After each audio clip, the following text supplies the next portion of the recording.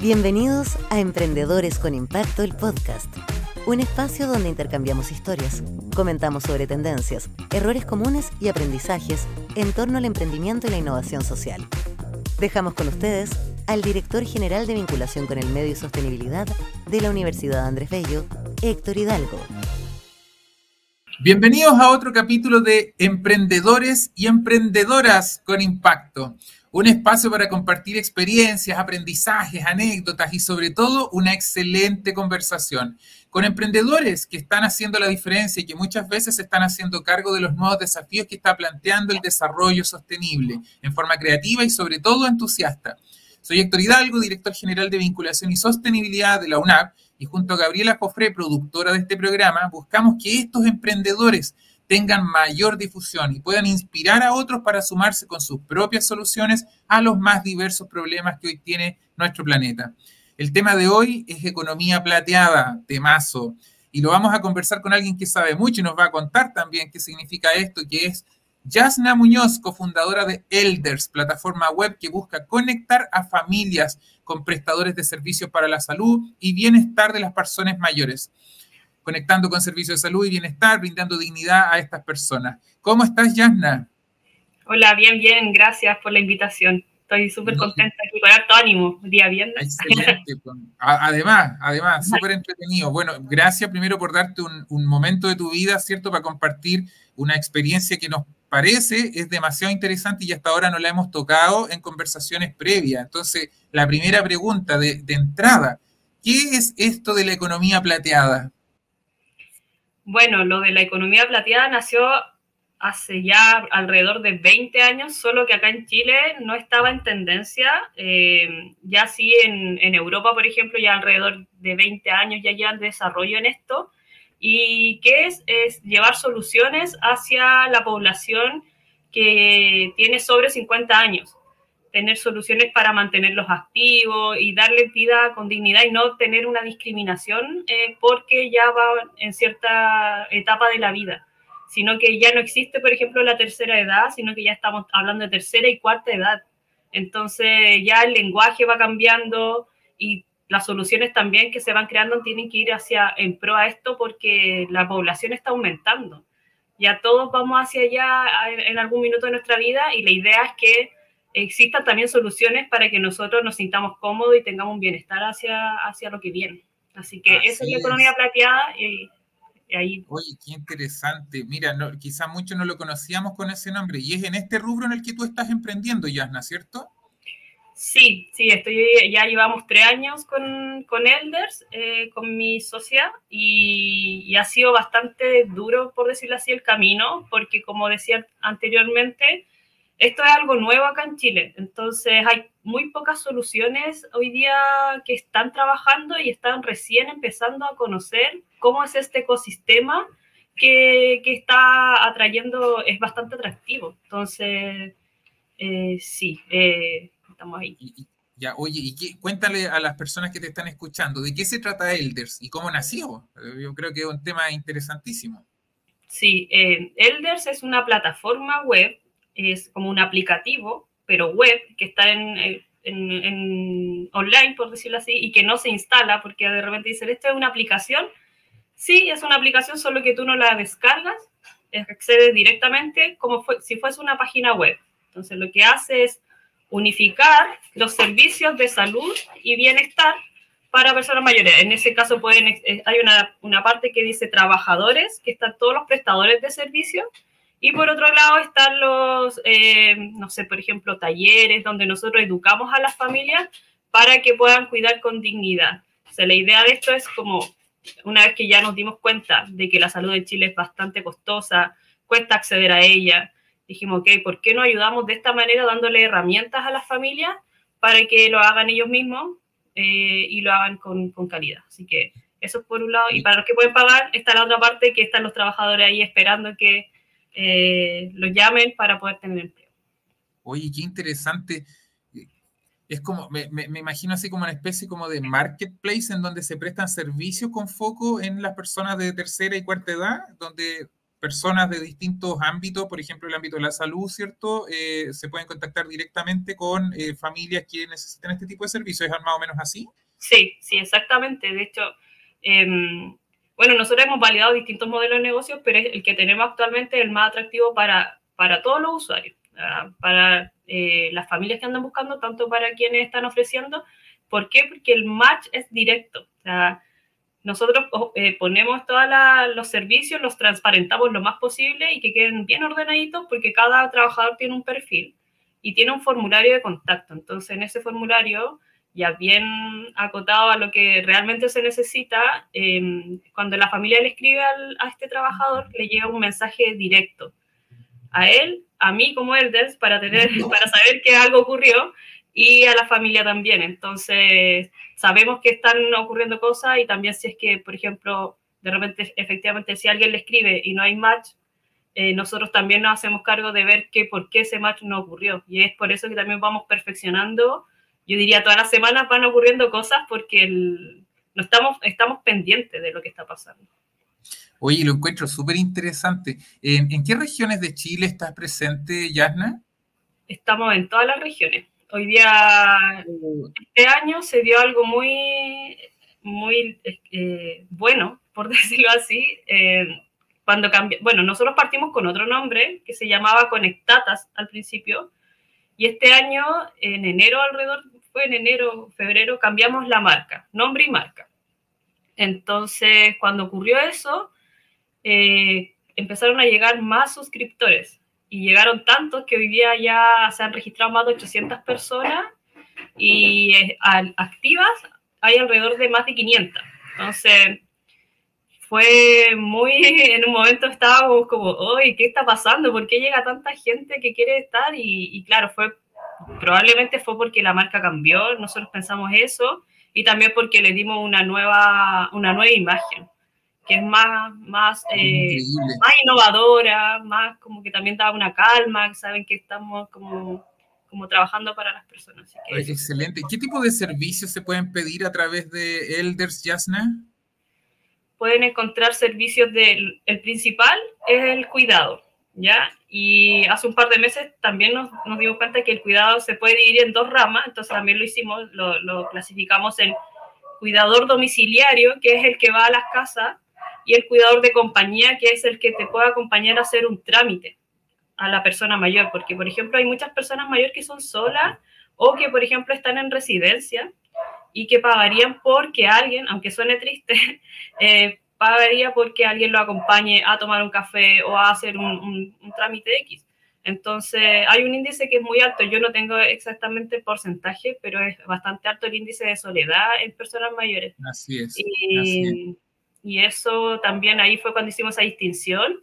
Y, y eso, eso principalmente los cuidadores. Tenemos peluqueros, podólogos y profesionales de la salud. En, ese, en profesionales de la salud hay enfermeras, hay enfermeros en general, eh, kinesiólogos hay bastante y psicólogos. Oye, me, me, encanta. Ya estoy pensando en hacerle un regalo a mis abuelos ahí para que le hagan algún cariñito. Así que yo creo que me voy a meter a Elders terminando esta, esta conversación. Ahora, ¿cómo llegaste a... por, qué te, se te ocurrió emprender en este rubro? Eh, ¿Qué, ¿Qué, fue lo que te pasó? ¿Qué, ¿Cuál fue como lo que gatilló el que tú te convirtieras en una emprendedora en este rubro de la economía plateada? Principalmente eh, en mi familia tuvimos el caso de que todos mi, mis tíos, y principalmente mi mamá, fue la cuidadora de, de, mi abuela, que hoy día ya no está, está ella falleció eh, hace unos años atrás y fue bastante rudo el tema del cuidado, el, el de, decir quién se hace cargo y probablemente una realidad que se vive en muchas familias. Y además de eso, eh, justo cuando estaba haciendo un magíster eh, de innovación, eh, me tocó eh, crear un, un proyecto de tesis y dije, ya voy a, a, tomar esta rama, que justo estábamos en pandemia, y de ahí empezó a, a pivotear un poco este, este negocio, por decirlo así, este, este, emprendimiento, que al principio era una cosa y hoy día es algo totalmente distinto, porque uno piensa al principio que eh, puede salvar el mundo muy fácil, pero en verdad no es tan así. Entonces tiene que tener un modelo de negocio detrás que sea sostenible y en eso hemos tenido que cambiar algunas cosas y dejar de lado cosas que nos, nos gustaban mucho al principio, que era tratar de darle cuidados gratuitos a personas mayores que no tuvieran para pagar. Y eso es súper difícil de hacer, de lograr, pero yo creo que es posible. Ojalá en algún futuro pueda lograrlo. Excelente. Bueno, nosotros conocimos a Yasna hace un tiempo atrás porque Yasna fue una de las premiadas con el Premio Impacto Social del año 2023 la Universidad Andrés Bello y el Instituto Profesional AYEP realizan hace más de 13 años este reconocimiento en donde justamente lo primero que se hace es buscar a quiénes son los emprendedores sociales más importantes de Chile para justamente después destacarlos y reconocerlos como tales. Si entre las personas que están escuchando este programa hay algún emprendedor social que le gustaría saber más sobre este programa, ingresen a www.premioimpactosocial.cl. Así que te reitero las felicitaciones a propósito de eso, Yasna, porque fue una, una muy buena competencia la de ese año 2023 y, en realidad eh, qué rico que saliste premiada, porque este es un tema de tremenda importancia para, para, bueno, para todos. Sí, sí, o sea, yo, yo estoy súper feliz de haber recibido el premio porque normalmente eh, son los emprendimientos los que son eh, premiados y en este caso es a la persona emprendedora. Entonces, no, nunca había tenido un premio personal. Y, y, ahí es donde uno se da cuenta del real esfuerzo que uno está poniéndole al, al emprendimiento. De repente uno no se da cuenta todo el trabajo que hay.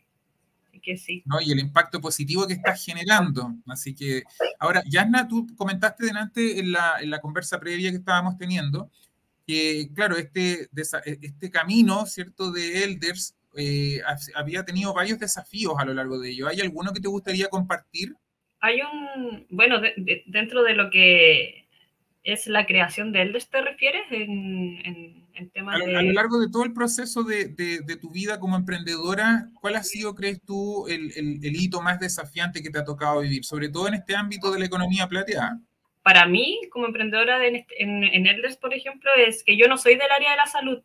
Eh, entonces tuve que insertarme a conocer muchas aristas, estudiar, leer bastante eh, cosas como datos y, y tendencias de qué, qué, está pasando, por ejemplo, que no existe regulación para cuidadores hoy en día, eh, y, y, otros temas que, que, que, son igual, de alguna manera, tienen que estar sí o sí en el conocimiento de un emprendedor que se va a meter en el área. Entonces uno tiene que quizás saber de toda la área, pero lo que más me costó y para mí ha sido un desafío es entrar en un emprendimiento que tiene que ver con la salud me imagino, la, la, las diferencias, pero, pero también puede ser una riqueza, porque a veces también mirar desde afuera las cosas te abren un poquitito más el mundo, porque tú lo podís mirar como con, quizás con un menos sesgo, ¿cierto? Que si hubieras estado 100%. No, lo encuentro súper interesante. Ahora, eh, me imagino yo que tú ya debes tener una red de prestadores de servicio eh, así como los hay en otras plataformas, por ejemplo en Uber, también en Corner Shop o en algunas otras. ¿Cómo validas tú que esas personas, esos profesionales se alinean con, como con el estándar que tú inspiras, ¿cierto?, a través de Elders. Sí, nosotros tenemos una diferenciación en, al respecto de las plataformas que mencionaste anteriormente, porque en el sentido de, de, de ellas, eh, no hay validación de persona de conocer, de hacer una entrevista. En el caso de nosotros sí lo hacemos y si bien hay una documentación que nosotros pedimos obligatoriamente partiendo por la cédula de identidad eh, y papel de antecedente y otros documentos que son como los mínimos para poder trabajar, eh, además de eso hacemos una entrevista y conocemos a la persona y, y, y sabemos que quien está de ese, detrás de ese perfil es la persona que quien dice ser. En el caso de los otros, por ejemplo, hasta yo he tomado Uber que no son quienes dicen ser. Entonces, y porque tenemos la necesidad, igual lo, lo tomamos, entonces corremos ese riesgo. En el, caso de nosotros sabemos que es, mucho, es muy delicado eh, llevar una persona a tal lugar y en ese sentido de nuestra plataforma, que es la parte que nosotros nos, nos protegemos bastante, aparte de tener términos y condiciones que, que dicen como hasta dónde llega Elders, eh, si la validación de las personas es esa. Wow, o sea, ahí hay, un compromiso interesante para que también le des la certeza a las familias que contratan a Elders de que la, la profesional ha sido validada, entre comillas, o certificada en algunos aspectos, ¿cierto? Oye, qué interesante. Tú comentaste también delante, Yasna, el, increíble problema que está teniendo hoy día la población de adultos mayores, ¿cierto? A propósito del aislamiento, es decir, que nuestros abuelitos se están quedando solos. Desde tu punto de vista, ¿cómo has visto esa realidad? Me imagino que la tienes ahí en el tacto, ¿cierto? Sí, nosotras al principio cuando partimos con Conectatas, eh, fuimos a ver la realidad in situ. De hecho, eh, hicimos algunas entrevistas, íbamos a las casas de, de los adultos mayores y nos dábamos cuenta de la realidad que es bastante cruda, o sea, no, no es, eh, de repente uno piensa, ah, sí, vive solo, no sé, regala sus plantas, no sé, la, la, la, la persona mayor, y no, de repente están incluso eh, en condiciones como muy paupérrimas, no pueden em, ni siquiera servirse una taza de té. Entonces, claro, ahí nosotros nos dimos cuenta, oye, esto es más grave de lo que de repente uno, uno piensa. Así que sí, el índice de soledad yo creo que es una, un tema que hay que atacar de alguna manera y, y no sé si el, el, están dentro de las propuestas de, del gobierno, pero al menos nosotros sabemos que está ese dato, hay otros emprendimientos que también están ahí poniéndole ojo, pero sí, súper importante. Claro, y es una soledad que además es bien, eh, pucha, desafortunada, porque es soledad en una situación de vulnerabilidad, porque además las personas mayores tienen eh, riesgos como las caídas, más enfermedades probablemente, dadas por las condiciones también, eh, y además el problema que también tenemos en el país, que, que la calidad de vida también de las personas no, no, es tan adecuada, por ejemplo, por temas de ingresos, etcétera, etcétera, lo cual dificulta aún más, ¿cierto? Que esa soledad es una soledad eh, de cierta manera un poquitito más complicada. ¿Y qué cosas crees tú que podemos hacer quizás ahí? Hagamos el tirón de oreja, el tiro a todos los que tenemos adultos mayores y que de repente no tenemos el tacto o la inmediatez que tú has tenido eh, a través del, contacto con, tu, con tus beneficiarios. Yo creo que algo súper importante en, temas de familia es, saber escuchar a lo que quiere decir el adulto mayor porque ellos de repente no tienen el momento o la familia no le da la instancia para que ellos se expresen. Yo, creo que es súper importante, son súper sabios, entonces de repente eh, absorber esa sabiduría es muy enriquecedora. En mi, en mi caso, mi, mi, abuelita también está con, con problemas de, de, que hay ahí con la familia algunos temas y yo creo que lo, lo importante es dedicar un tiempo, escucharlos y, y, ya, o llamarlos, de repente si no puedes ir a verlos, llámalo, porque eso es súper valioso, muy valioso mm. para ellos. Interesante. Oye, me imagino que entre todo el tiempo que tú ya llevas interactuando, no solamente con las profesionales, ¿cierto?, que prestan los servicios, sino que también con las familias, que son las, las receptoras, por así decirlo, de los servicios que se prestan a través de Elders. ¿Hay alguna historia que te haya tocado de repente vivir o alguna anécdota que haya sido simpática que te gustaría compartir?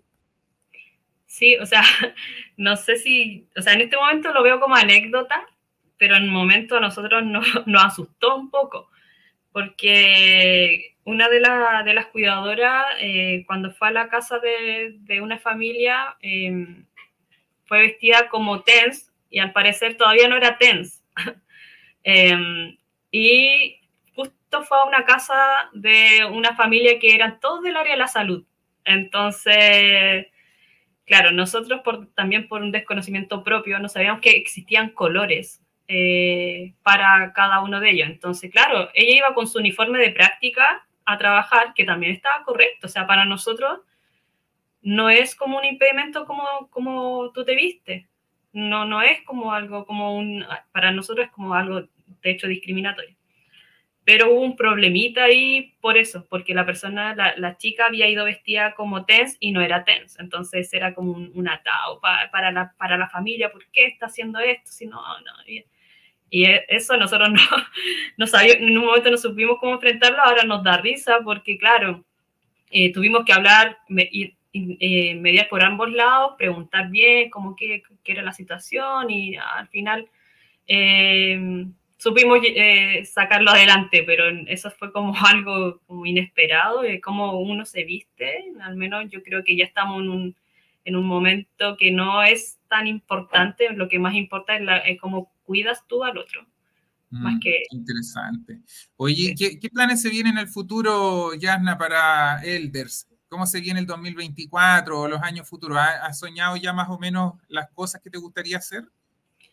Sí, sí, de hecho estamos trabajando en un programa de aceleración eh, con Endeavor Uruguay actualmente. De hecho, ayer nos tocó eh, ver si pasábamos a la siguiente fase. Todavía no nos dan los resultados, pero de ser positivo, estaríamos ya eh, probando la solución en España o Colombia. Así que estaríamos comenzando ya con el proceso de internacionalización porque, bueno, según los datos que nosotros eh, pudimos levantar, la, bueno, la necesidad está en todo el mundo, pero en algunos países es más fácil llevar la solución que en otros, entonces ahí es donde no estamos viendo cuál, no, y, los países en vía de desarrollo o los ya desarrollados, cada vez más población eh, adulto mayor, o sea, es una cosa evidente, y, lo, mismo que se está... Eh, tratando acá del tema de los sistemas de cuidado, etcétera, también ya llegaron para quedarse. O sea, yo creo que estás en la ola. No, no, me cabe duda que te va a ir súper bien en ese tema. Y Yasna, llegó el momento de los consejos. Esto siempre ha sido una, una, sección de estas conversaciones que ha sido muy valorada por la gente que nos escucha y es, ¿qué consejo le daría a otros emprendedores que quieran eh, emprender, valga la redundancia, ¿cierto?, en el rubro o en el área de, la economía plateada. Yo les aconsejo de que de que lo hagan pronto, porque creo que están en un buen timing para entrar a, la economía plateada o silver economy, como le dicen. Eh, están justo en un momento importante y porque el emprendimiento se demora una cierta cantidad de años en validarse. Entonces, yo creo que es un buen momento y que si tienen alguna idea o la pueden llevar para ese, a ese lado, que también puede ser, eh, que lo hagan, que se atrevan. Es súper difícil emprender al principio, pero después ya uno le agarra el ritmo. Así que eso, eso en general. Espectacular. Me, encantó en esta conversa que hablaste sobre pivotear, de que a veces uno parte con una idea y que después la cambia y, termina siendo quizás otra cosa. Eso en esencia es pivotear, ¿cierto? También hablaste del, del, tema de que a veces tú estás súper encantada con la solución que le estás proponiendo al mercado y después con la práctica, con la práctica te vas dando cuenta que en realidad eh, a veces uno tiene que moverse para que las cosas empiecen a ser más rentables y que obviamente que hay ofertas de servicios que, que aspiracionalmente uno siempre quiere tener, como por ejemplo la de servicios gratuitos a algunas personas que no puedan pagar por tu servicio y que no lo has olvidado porque va a ser un elemento que en algún momento vas a poder entregar. Me encantó mucho, así que disculpa que te haga un mini resumen de los de los temas que más me sorprendieron de esta conversación. ¿Hay algún tema que tal vez no hayamos conversado y que tal vez no se debe quedar en el tintero, Yasna? Sí, yo, yo creo que hay otro tema que es importante, es cuando uno cree que puede ganar dinero fácil y no es tan así, porque uno tiene que saber cuánto está dispuesto a pagar el otro. Y eso también ha sido un aprendizaje para nosotros, hemos modificado precios, ajustando, ajustando, ajustando, hasta que ya, este es el que, este es el que sí paga Así es. ¿Cuánto tiene que costar mi, mi producto? El B2C, por ejemplo, no va a pagar más de 5 mil pesos o más de 6 mil pesos. No lo va a pagar más. Entonces, claro, ah, ojo con eso. Sí, ojo con eso. Oye, qué interesante. El pricing, ¿qué precio le ponemos a lo que estamos haciendo? Oh, interesante, muy interesante.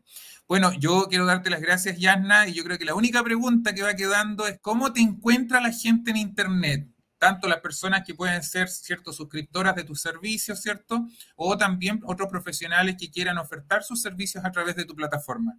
Ya, nos pueden encontrar a través de la web que es www.elders.cl y también en nuestras redes sociales como Elders Chile en Instagram, Facebook y LinkedIn como Elders. Así que ahí los dejo invitados Em, los precios están súper accesibles para todos, para familias, para quienes prestan. Em, así que cualquier cosa, y podemos conversar también. Si es que quieren tener una reunión con nosotras, nosotras siempre estamos abiertas a conversar. Excelente, no me cabe la menor duda. Oye, muchísimo éxito. Tal vez cuando salga este programa ya te ganaste el premio y es lo que esperamos. Así que muchísimo éxito en todas las cosas futuras que se te vayan a ocurrir. La problemática que estás atendiendo es sensiblemente importante Así que qué rico, Yasna, que una lideresa como tú, ¿cierto?, esté ahí eh, haciéndole punchi para sacar adelante, ¿cierto?, soluciones concretas para ir en ayuda de nuestros adultos mayores. Bueno, y muchísimas gracias también a todas las personas que nos escucharon en este programa. Recuerden suscribirse, seguirnos en nuestras plataformas y redes sociales y, por supuesto, compartan este capítulo y nos vemos en el próximo. Que estén muy bien, Yasna, que estén muy bien todos y todas. Chao, chao. Chao, chao. En nombre de la Universidad Andrés Bello Agradecemos a todos quienes nos acompañaron y los esperamos en nuestro próximo capítulo.